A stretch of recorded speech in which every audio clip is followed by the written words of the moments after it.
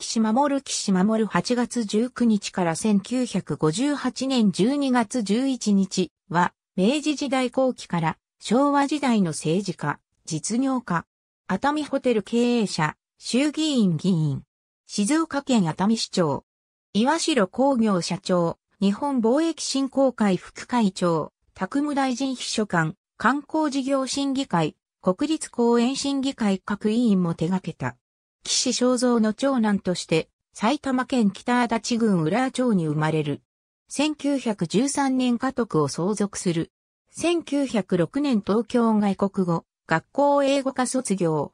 卒業後すぐに投し、1908年から欧米のホテルで働き、27歳で一度帰国し、帝国ホテル副支配人を務めた。1913年にニューヨークのアスターホテルで半年働いた後、熱海ホテルを経営した。同ホテルは1892年創業の熱海の樋口ホテルの長女と騎士が結婚したのがきっかけで、1916年末には樋口ホテルを熱海ホテルと解消して、その代表となり、その後日本観光株式会社を創立し、熱海内で新たにホテル用地を探し、伊豆山中腹を開拓して1922年に開業したものである。他、熱海町会議員、1923年2月、同町長、田形郡会議員、同三次会員、同議長、静岡県会議員、同三次会員、同副議長、宅務大臣秘書官、日本観光専務取締役を歴任した。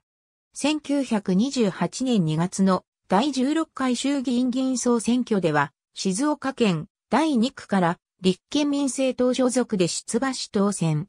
続く第17回、第18回総選挙でも当選し衆議院議員を3期務めた。戦後、1947年4月に熱海市長に当選した。浄瑠璃が趣味で日本浄瑠璃会会長も務めた。ありがとうございます。